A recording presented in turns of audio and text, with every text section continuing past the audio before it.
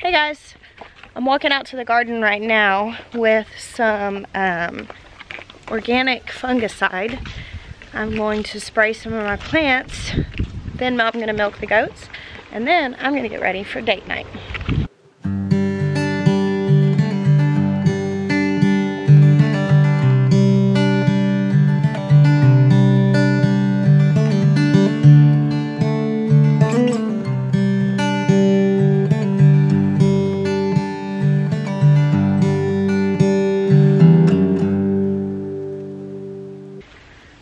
Some mild issues with um, some funguses on my tomato plants, just a little bit of disease. It's not that bad and it might be attributed to how close together they're planted. However, I've decided to use some organic um, fungicides to go ahead and put on here. They also work as um, insecticides, things like neem oil. Um, there's also a mix, I'll show you the bottle that I found at the store that is approved for organic gardening. So I'm gonna just, um, I just mixed up a gallon. I'm gonna go through and see how well it works. I just bought a new sprayer. I'll show it to you. Here's my sprayer. It was real easy to put together and it was like $10 at Home Depot, which I've been using just a like a glass spray bottle that holds about a liter, but with the size of my garden, that's just not working. So hopefully this will cut down on some time. I also found this bottle of or Organocide garden spray, which it's it's made of um, sesame oil, lecithin, fish oil, potassium sorbate, and water. So it's just a basic and also some neem oil extract, which this is also a concentrate. Right now this is the organic, dang, I'm sorry, eggplant. I think he's gonna pull through, guys. Oops. I better just get to work. Stop talking about it. This thing works pretty good.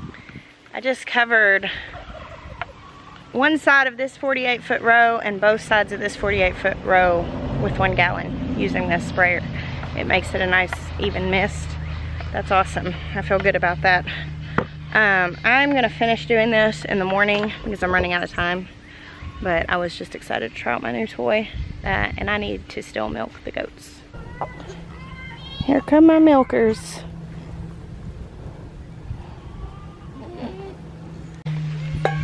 Only a few of my girls get milk twice a day, the ones that don't have kids on them. Um, and we've been letting them out into this other yard to eat the grass. So thankfully they still come running when they see me with the milk pail because they know there are treats to be had. Now see all the little bright flashes? Those are flies. It's awful this type of year, time of year. I just got some fly traps. I'm gonna try some natural remedies. We gotta take care of it, huh, polyester? Come on. Don't be dumb. Come on. Get back on the stand. You want it?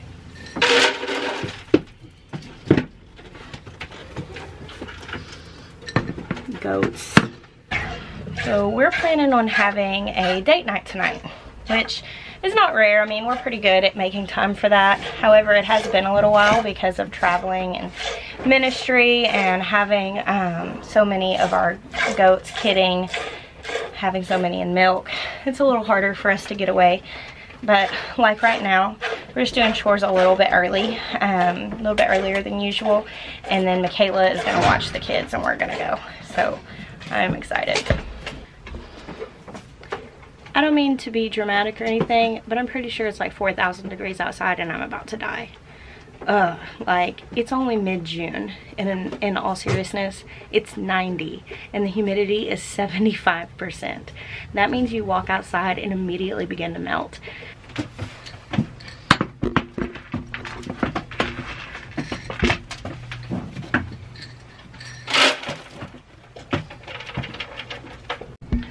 All right, we're done time to get ready and go on a date.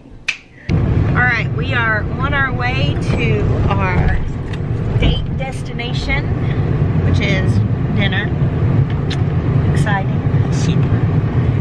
Uh, and we have been thinking of things to talk about a little bit. A little bit. We live like half an hour from everywhere in our house is country. We're in the city now. Our Do you know where in the shopping center it is? Nope. We're so indecisive. We've already discussed like five places to eat and we decided on one and then started thinking about going to one that was close by. We don't get out enough.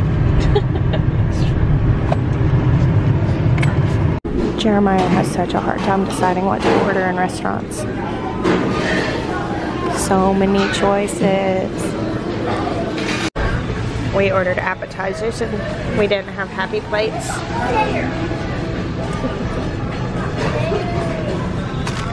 What's your fortune cookie say?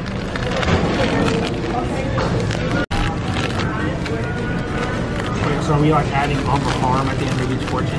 What? On the farm. On the farm? Yeah. Oh, is that what we're doing now? Is that the clean version of the?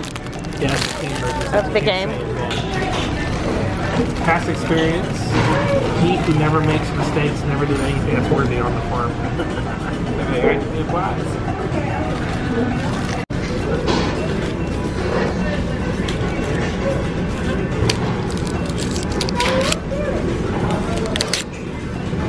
Adventure can be a real happiness on the farm.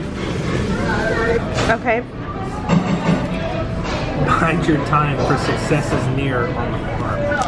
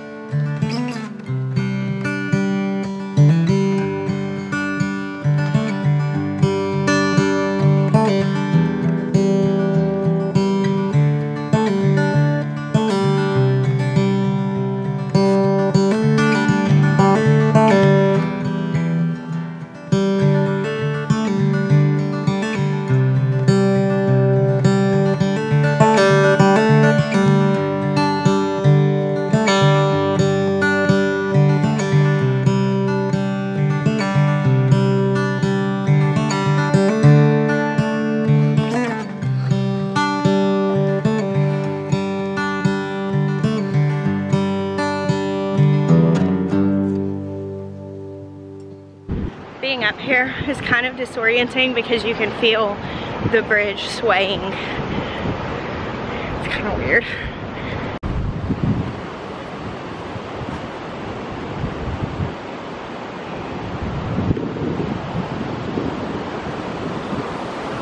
What are you looking at? Oh, the, the bridge? I've never been to that side. Does the bridge split and go left and right? Yes. I didn't know that. I only knew that because I just looked down there and saw it. So maybe. The answer is maybe. I don't really have anything else to say. Neither. You want to go get some coffee? Yeah.